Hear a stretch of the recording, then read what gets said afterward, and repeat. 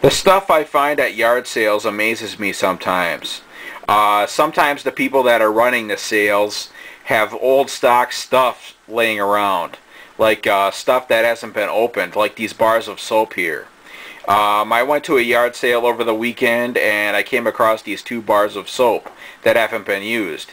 At the sale they had tons of bars of soap like this for 25 cents a piece.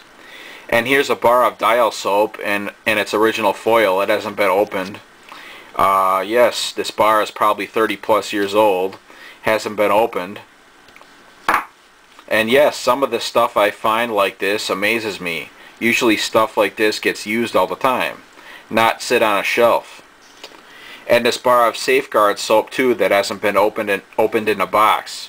It's probably 30 plus years old, uh, maybe 40, who knows. Yes, I got these bars of soap for uh, 25 cents a piece. Um, yeah. And that concludes this video. Bye.